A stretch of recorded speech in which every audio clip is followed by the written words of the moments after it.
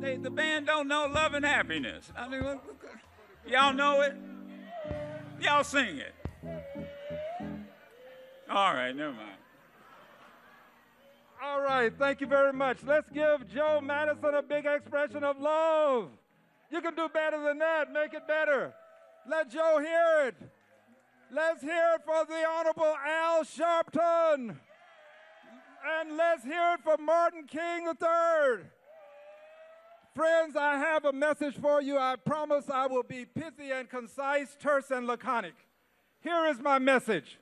We cannot, as Democrats, control the House, the Senate, and the presidency and not deliver on the things that the people who sent us there to do.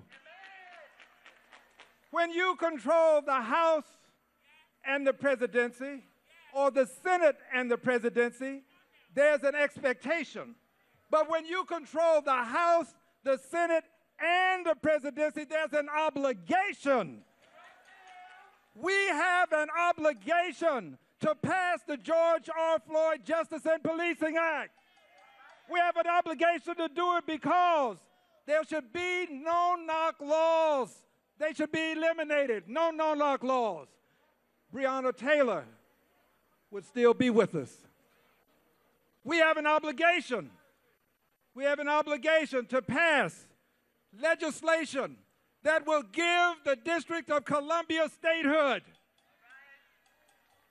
Here, are some facts that you need to know. There's some inconvenient truths that we have to deal with. Here's one DC has a higher per capita tax rate than most states in the country. DC has been trying and has been denied statehood for centuries. Friends, it is about more than taxation without representation. It's about overtaxation because of underrepresentation in the Senate of the United States of America. That's what it's about. And we have got to pass it. We have an obligation. We have an obligation to pass the John Lewis Voting Rights Advancement Act. And here's why. We have a right and an obligation to do it because Dr. King marched so that we might have these voting rights. Schwerner Goodman and Chaney gave their lives so that we could have these voting rights.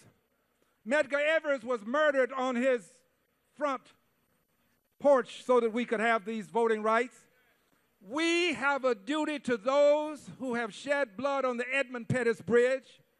The truth of the matter is this the Voting Rights Act of 1965 may have been signed in ink by President Johnson but it was written in the blood of those on the Edmund Pettus Bridge, on the blood of John Lewis, on the blood of Ever, Medgar Evers, on the blood of Schwerner Goodman and Chaney. We must pass it, and you have to help us get it done. If you're going to help us pass it and you know it, stand up and show it. Let's stand up and give the Voting Rights Act the motion, the energy it deserves. If, are you with me?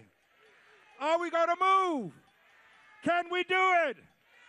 Let's do it together. Remember, I'm Al Green. I love you. Let's have some love and happiness for the good times. Let's stay together.